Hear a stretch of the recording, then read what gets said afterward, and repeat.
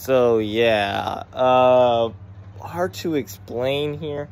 The hurricane didn't even hit us, even though it was in the direct target to where I live. It didn't even hit us. There's not, see, look, there's nothing wrong with this place. It looks like a normal average day. It looks pretty clean, mean, and great. I mean, true, true, like there's a lot of fucking leaves blowing around, but that's pretty much it. And it is October, uh, almost October. Ain't fall coming around soon? Ain't like fall's coming around in October, uh, November and stuff. All I have to say is I feel disappointed that we did all this preparations right here for nothing. I mean, I'd rather been safe than sorry, but still, like, we did all this hard work and we didn't even lose power. So why do I had to had to lose three days of school for this? I don't know. I honestly don't know. However, we are most likely coming to school Monday, so I'm happy with that.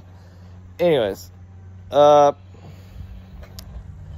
I feel bad for people that did lose their powers. Like my mom did lose her power for like about an hour, but she got it back, so it didn't matter for her. Uh, however, I did lose uh, what's it called? Uh, I don't know, some couple of trash bags and stuff, but it's fine. Uh, I do feel bad for the families that did lose their power and they're still having power outage right now. So I'm glad that y'all made it out. I'm so sorry about y'all losing your power. It's tree, uh, birds. And I'm really sorry for y'all losing your powers. And I hope you guys get it real soon. Hope you guys get it back real soon. And if you are watching this, I live like in Ocala, so I was destined to lose like a lot of uh, a lot of stuff in the storm. Like it was the the hurricane was going to hit us directly.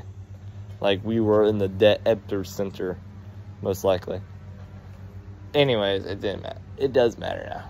What matters now that we uh, we made it out and we're okay. Hopefully, y'all get your power back. And thank you for letting me vent. And have a nice day.